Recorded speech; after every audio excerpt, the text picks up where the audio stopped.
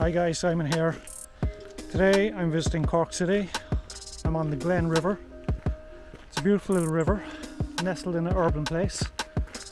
And uh, unfortunately, there's desperate sewage going in here.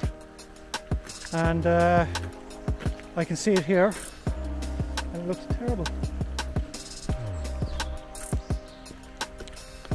So I'm going to take you down here to the river and I'm just going to show you there. I found a dead trout on the banks of the Glen River. A big trout too, about 30 centimetres. Oh man, look at all this pollution. This is desperate. That looks like sewage. So yeah, while I'm taking a walk here along the Glen River in Cork City, I've just found this fish. It's dead, it's on the riverbank. Look at that.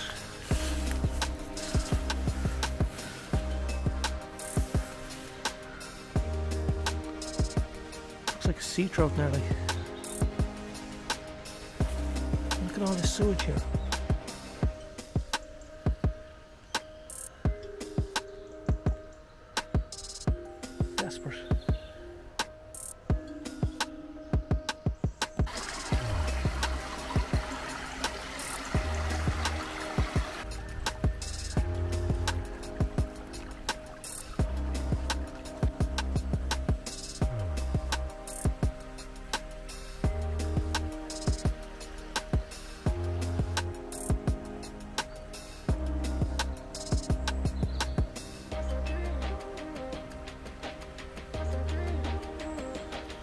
Ah, this looks pretty shocking.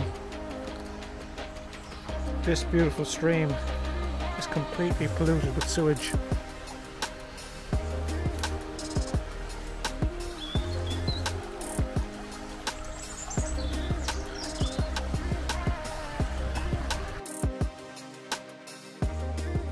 I don't think I've seen anything as bad as this in a long time.